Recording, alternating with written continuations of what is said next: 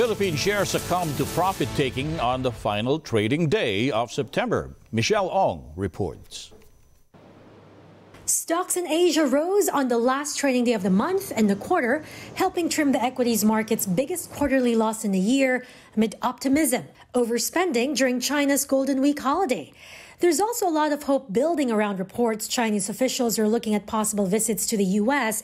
to prepare for a potential summit between Xi Jinping and Joe Biden. Meanwhile, Philippine shares pulled back for the day as the market succumbed to profit taking, settling at 63.21, up 2.9% for the week, 2.4% for the month, but still down 2.3% for the third quarter and down 3.7% year to date. Philstocks Financial's Japheth Tantiangco sees lower earnings in the upcoming reporting season, and that could be a drag again. Full year 2023 our projection for corporate earnings is it's going to you know to lie within 5 to 15 percent so um, taking that into consideration for this third quarter um, we could see a slower uh, we could see a slower corporate earnings growth.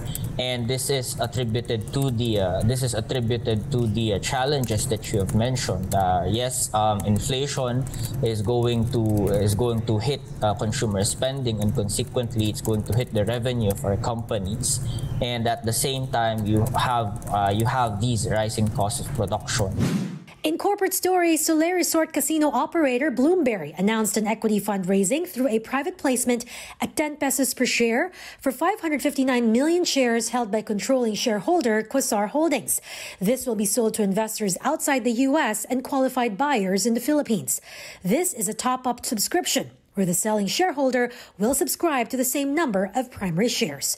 In other news, LBC Express gets the green light from China's regulatory agency to buy 100% of Blue Eagle and LBC Service, also known as Taiwan Money, engaged in employment services for 5 million Taiwan dollars. The acquisition is seen contributing to the global revenue stream of the company.